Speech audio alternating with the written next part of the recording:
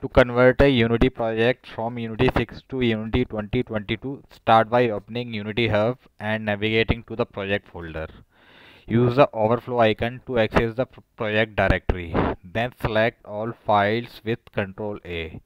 Deselect essential folders like Git, Asset, Package, Project Setting, User Setting, Git Attribute, and Git Ignore and delete the remaining files to remove outdated data. Next, open the project in Unity Hub and select Unity 2022 from the Editor tab. Set the target platform to Android or another desired platform. Click Open and confirm the version change when prompted.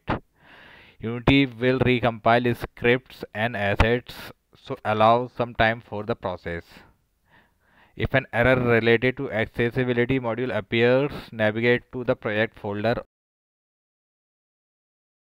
Open the manifest.json file in the text editor. Remove the line referencing the modules and save the file. Reopen the project in Unity 2022 acknowledging any warning about version, mis mis version mismatch and wait for the scripts to recompile.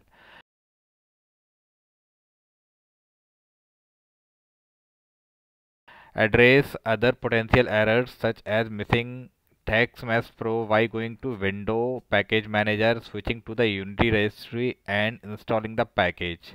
If unity requests a universal render pipeline material update click ok to update the materials automatically. Verify your scenes by clicking the build setting for the main and gameplay scene Open each scene to confirm proper functionality. If a warning about node option occur, go to Edit, Project Setting, Visual Scripting and regenerate the nodes. After resolving all the errors and warning, click Play in the Unity editor to test the project.